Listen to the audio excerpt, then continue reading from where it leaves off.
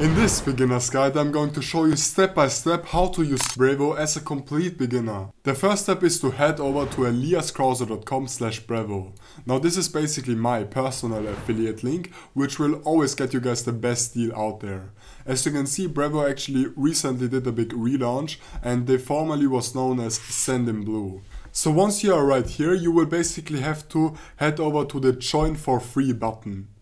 So first of all, you will just have to put in your email and then you will have to set up a password for your account. Then you will have to click on create an account.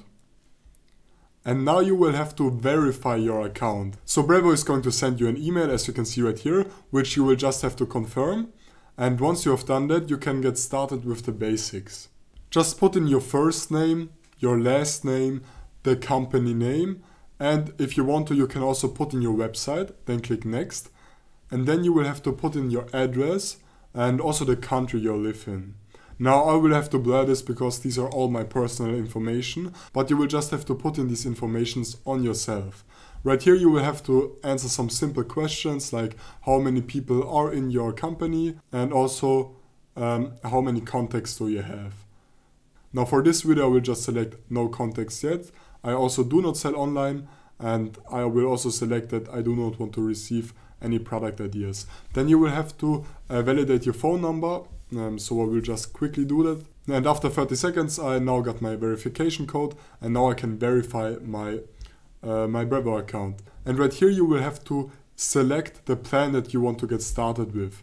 Now I will just go with the free plan for this video and I would actually recommend you to go with the free plan as well if you are a beginner, if you are not that experienced, because you will get most of the features that you need to get started with. Now, other than other email marketing providers, uh, Brevo is actually going to charge you per email sent out. So as you can see, the free email plan will allow you to send out 300 emails per day, but you could technically have unlimited contacts on the free plan as well. But obviously, if you have a lot of contacts, you would want to upgrade so that you can send out more emails.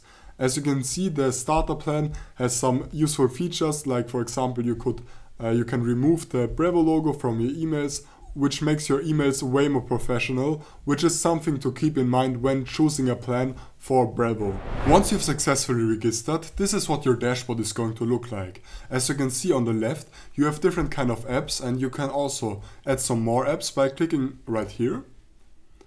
And right here you will then have to select what kind of apps you want to add. Now for example, if you want to get started doing SMS campaigns, you will have to click right here and so on. Now before we can get started, importing our context, setting up email campaigns and then setting up automations, we will actually want to head over to senders and IP and then to senders. Now every email that we are going to send out using Brevo will have a sender attached to it.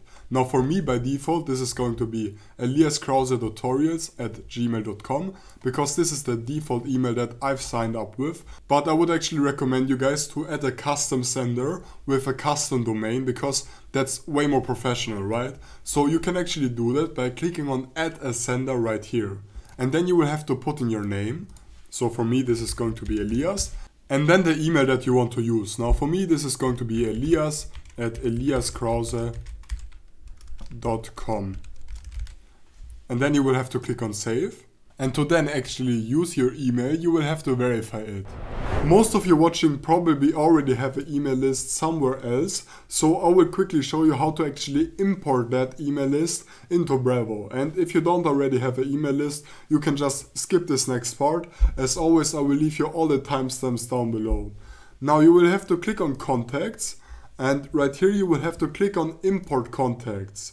Now you can either upload a file to import your contacts or you can just copy and paste your emails. I will just upload my Excel file. So as you can see, you will just have to drag in your files. As you can see, this is just an example file, uh, which I've created beforehand. And you can see a preview of your file. And you will basically have to check if uh, all of the details are correct. So basically the name uh, is correct in my case. Um, the email is also correct. And all the other things are also correct. So I will click on confirm your file. The second step would be mapping data. Now it is actually pretty common to not only log uh, the name and the email, but to also log things like IP address, uh, date added, tags, and so on. And in this step, you will basically have to connect the data to the right attribute. Now, as you can see, the first one, uh, all of these inputs right here are basically first names. So I will just click, so I will just select first name right here. And now Brevo basically knows that these things right here are the first names of the email addresses. Now the emails are already by default set to email. Now all of these other data entries are basically not important for me. I most of the time only try to get the email as well as the first name, but all of these other things are not that important. But obviously you can just customize this to your own email list. And once you are done, you can click on confirm mapping. And then you will have to select the list that your context should get imported to. Now by default you will just have your first list, but you can actually also create a new list. And I will just uh, name this list YouTube tutorial. You can also select the folder that your list should get stored in. And once you're ready, just click on create a list. And then your list is going to be selected. Now you can actually import your contacts into multiple lists, but for this video I will just import my contacts to YouTube tutorial and I will just click on confirm your list. And right here you will have to finalize your import. Now you have all of these different kind of options. Basically the first one is update the attributes of the existing contacts. So my, uh, my YouTube tutorial list basically doesn't have any existing contacts.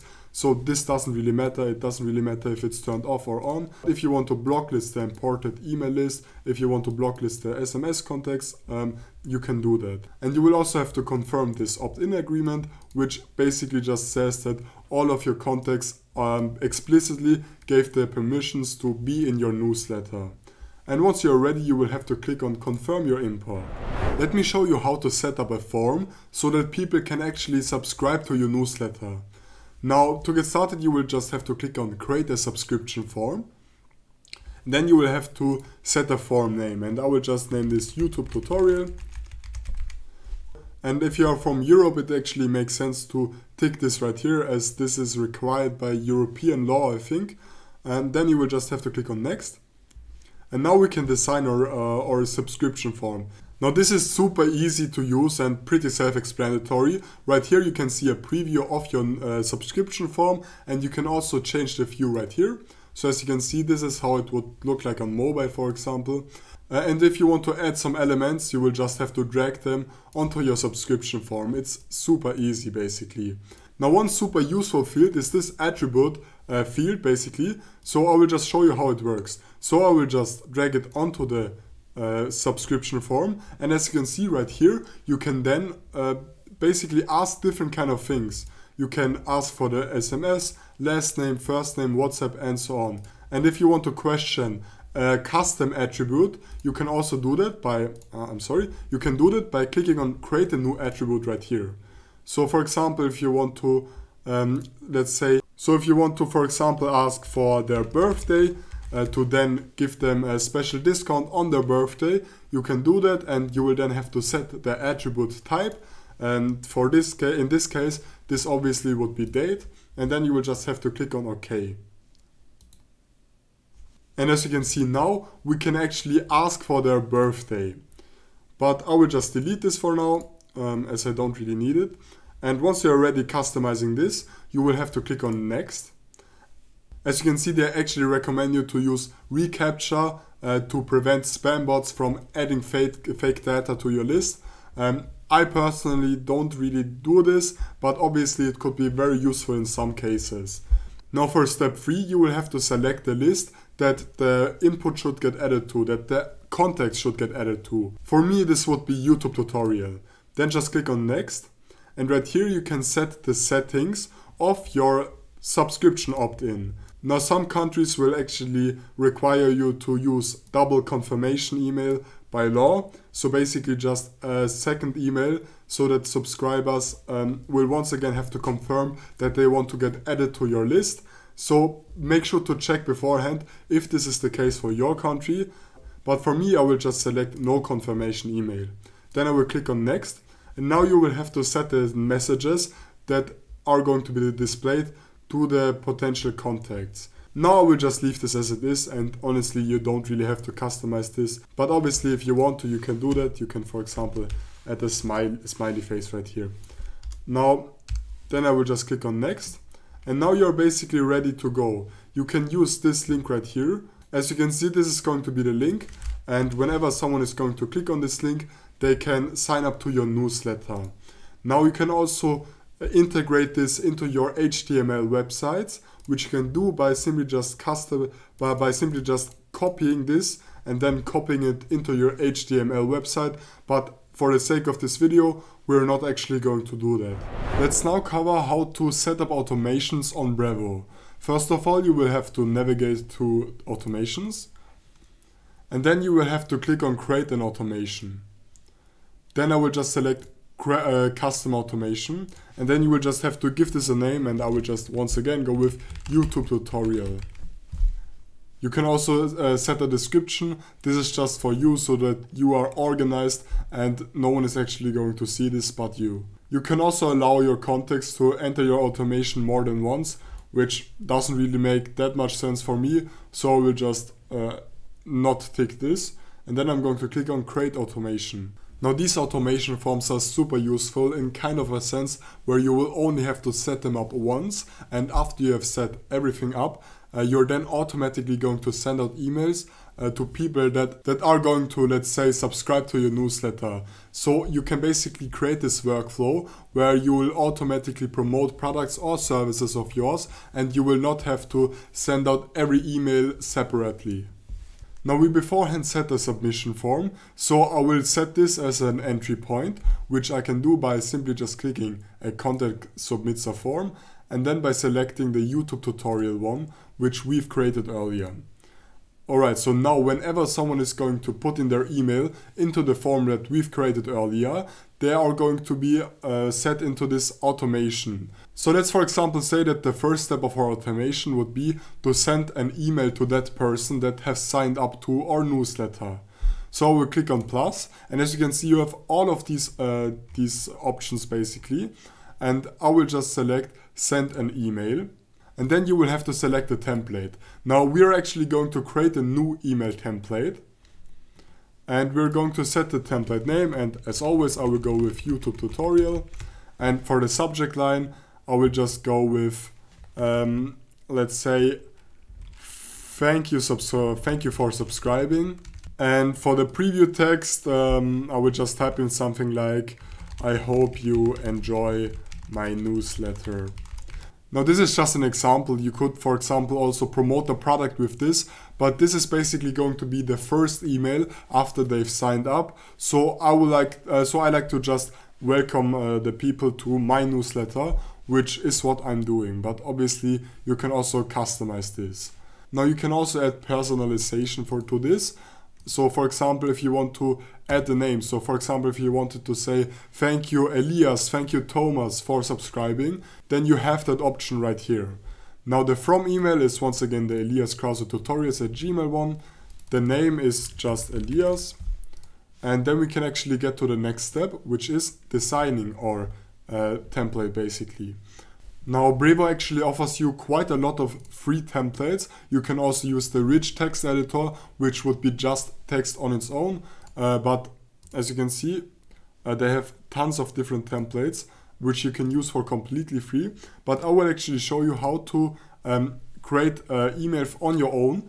Uh, so as you can see, they have this super useful drag and drop editor basically. And all you will have to do is dragging all of the elements from the left to the email right here. So for example, let's say that I want to start off with a title. So something like, thank you for subscribing. Subscribing. And by the way, make sure to subscribe to my YouTube channel. Now you have tons of different options on how to customize the text, which I'm not going to go over because they're pretty self-explanatory. Now let's for example say that after the, the headline right here, I want to add an image. Then I can also do that by simply just dragging it right here. And then I can also add some socials of mine so that people that are going to see this email, email always can uh, get redirected to my socials easily. And you can also change the view of your email right here. So if you want to see how your email is going to look like on your iPhone, then you can, then you also have that option. And you can also set up your brand. Now this is actually quite useful as these options right here will basically work as pre-settings. So for example, you could uh, set up the colors and you could set up the fonts that you like uh, that you like the most and then it will automatically change that on all of your emails and on all of your websites.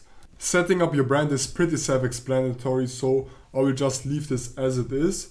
And for the email, I will also just leave this as it is as I don't want to waste your time. Uh, however, obviously you would need to customize this to your own email. In fact, I will just click on save and quit for now. This is going to be the, the final preview. And once again, you can change the view right here. And if you like what you see, you can just click on save and activate. And now your template is saved and activated successfully. And now you can uh, select it right here. Actually, you will have to um, refresh the, the site. And then you can select the email yeah, YouTube tutorial. And now the welcome email to our newsletter will automatically get sent after someone is signing up. Now let's for example say that after two days you want to send out a second email promoting some sort of product. Now you can actually do that by simply adding a condition right here. So I will just add a delay and then I'm going to wait for two days. And after these two days, I'm going to send out a second email. And now we could set up a second email, uh, which is going to promote some kind of product, which I'm not actually going to do. I think by now you will get the hang of it. Thank you for watching. Make sure to subscribe to my channel and like this video to don't miss out on any future videos.